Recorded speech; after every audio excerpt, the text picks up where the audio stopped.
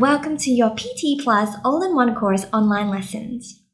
Now this is the part 2 introduction of PTE writing and we'll be focusing on how to increase your effectiveness when you're preparing for this section.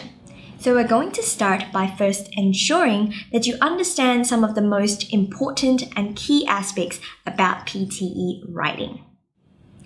The first key understanding is that PTE writing is completely machine based. So a machine will be scoring your written response rather than a human examiner.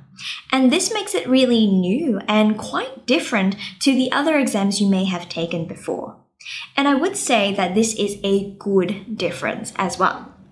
Because for many students who have done other exams, let's say the IELTS exam, the writing section is often the most challenging and also quite difficult to get high scores in. And a part of it is also because of the unavoidable subjectivity with human examiners.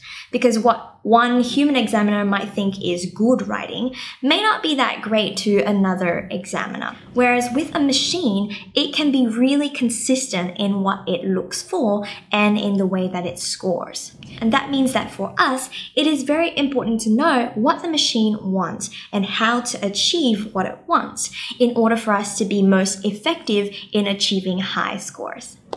Now, once we understand that, let's talk about the second key understanding about PTE writing, which is knowing what actually makes up your score for PTE writing and how it interlinks with other sections of the exam. So let's start by looking at the writing question types and understanding the number of marks that they're worth.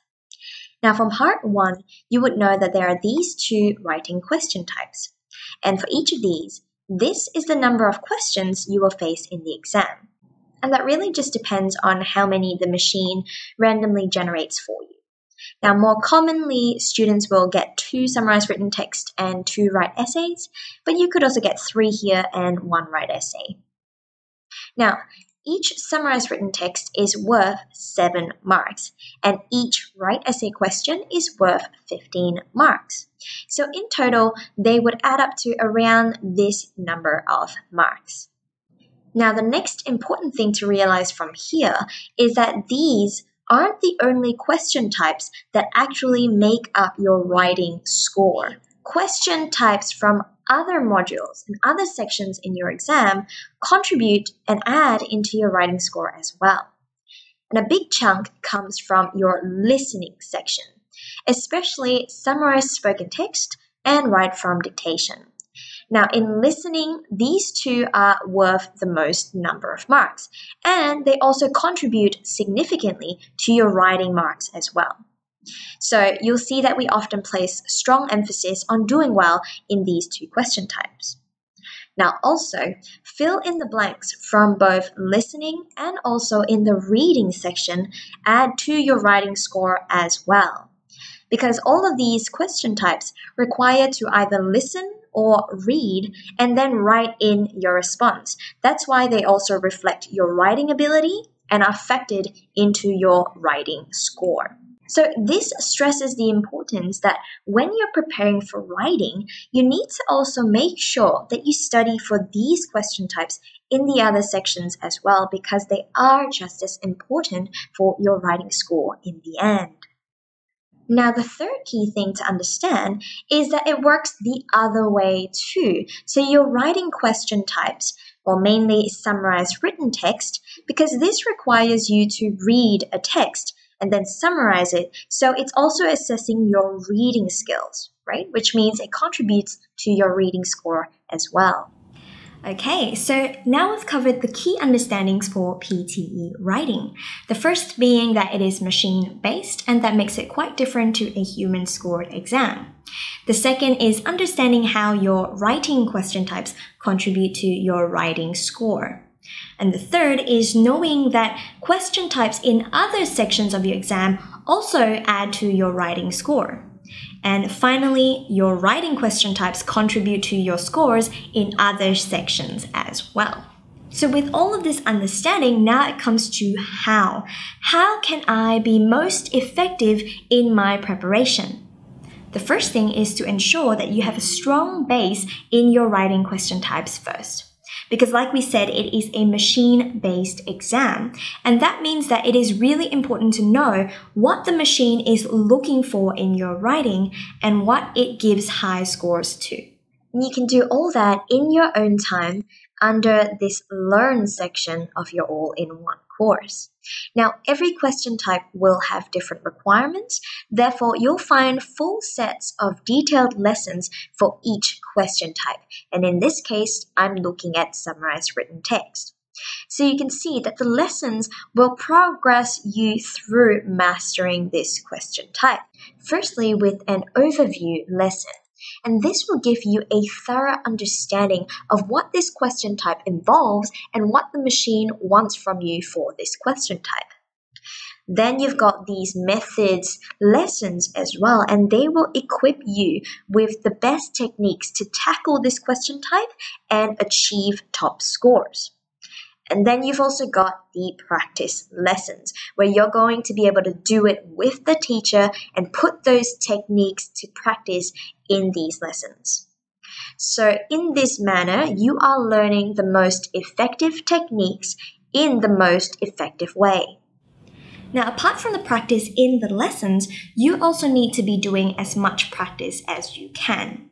And to be most effective with your practice, you need to be able to see how the machine is scoring you and also be learning from the top score sample answers.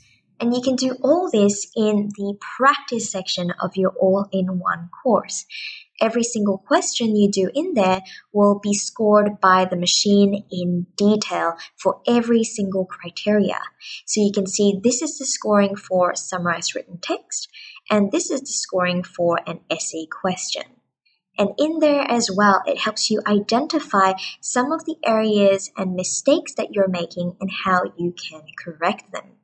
And if you scroll down, there will also be top score sample answers for every single question.